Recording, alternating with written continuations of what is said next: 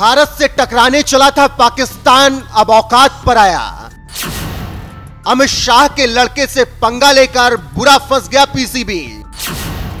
जय शाह को आँख दिखाने चले थे नजम सेठी, देना पड़ा इस्तीफा। शहबाज जरदारी की लड़ाई में बर्बाद हो जाएगा पाकिस्तान क्रिकेट।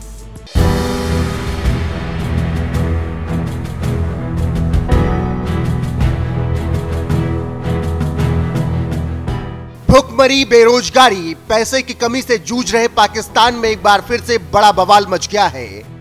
क्योंकि पीसीबी चीफ नजम सेठी ने बड़ा ऐलान करते हुए कह दिया है कि अब वो पाकिस्तान क्रिकेट बोर्ड के अध्यक्ष नहीं बनना चाहते।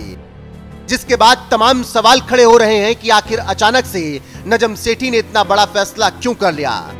तो आपको बता दें कि नजम सेठी दिसंबर 2022 से पीसीबी के अंतरिम अध्यक्ष बने थे।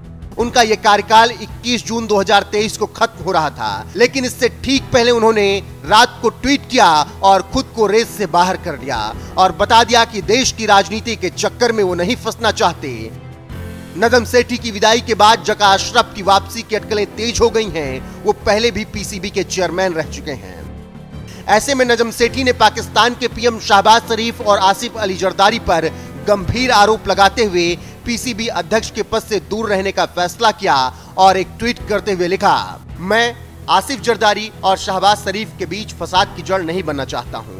इस तरह की अस्थिरता और अनिश्चितता पाकिस्तान क्रिकेट बोर्ड के लिए सही नहीं है इन हालात में मैं पीसीबी के चेयरमैन का दावेदार नहीं हूँ। सभी हिस्सेदारों को शुभकामनाएँ गौरतलब है कि शाहबाज शरीफ पाकिस्तान के प्रधानमंत्री हैं और पीसीबी के संरक्षक वहीं आसिफ अली जरदारी पाकिस्तान के पूर्व राष्ट्रपति रह चुके हैं और पाकिस्तान पीपल्स पार्टी के राजनेता हैं। उनकी पार्टी अभी पाकिस्तान सरकार में हिस्सेदार है। जरदारी की पार्टी अशरफ को पीसीबी चेयरमैन बनाना चाहती है, जबकि पाकिस्तान में प्रधानमंत्री पीसीबी गवर्नेंस की नियुक्ति करता है, जो आमतौर पर बोर्ड चेयरमैन बनते हैं। ऐसे में शरीफ की पार्टी पाकिस्तान मुस्लिम लीग नवाज़ चेयरमैन को चुनौती दे रही है।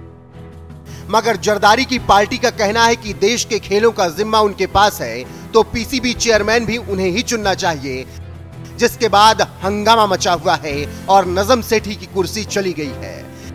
इसके अलावा यह भी कहा जा रहा है कि बीसीसीआई से पंगा लेकर नजम सेठी ने गलती कर दी और भारतीय टीम को एशिया कप के लिए पाकिस्तान भी नहीं बुला पाए और ना ही अपने पास पूरी मेजबानी रख पाए।